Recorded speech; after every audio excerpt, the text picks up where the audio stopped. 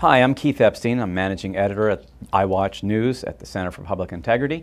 And I'm here today with Ronnie Greene, who's an investigative reporter who covers the environment.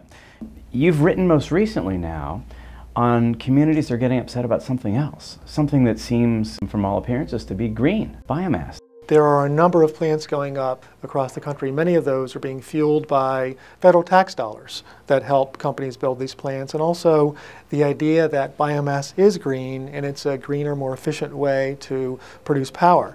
But the collision comes in where a lot of communities across the country think that these plants are not so green. So what you'll see is pretty much every time a biomass plant is proposed for a community, local politicians and chambers of commerce are very enthusiastically supporting these plants, saying it's good industry, it's jobs, and it's green, but residents are not so sure, and there's a big backlash against plants across the country.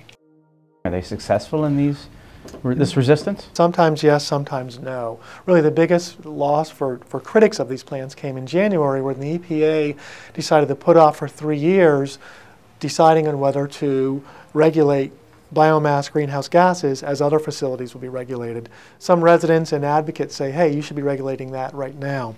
Other cases, they've been successful in stopping plants. There's one company that had three plants proposed, one in Washington state and two in Florida, but amid community protests, they've canceled two of those plants and have a hmm. third one on hold. So there's a fight really every time one of these plants go, goes up or is, is on the drawing board.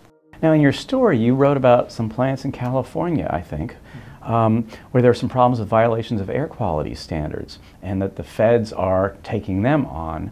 Um, how can that be at the same time that Washington is actually promoting biomass? That's really symptomatic of this collision um, of interest and perspectives.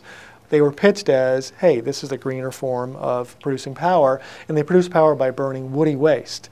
What we find out two years later, a little more than two years later, is these plants had been dropping the ball as far as following the rules they were supposed to follow. The EPA and the local pollution district in California issued dozens of citations for essentially polluting the air, which hmm. is what these plants are not supposed to be doing.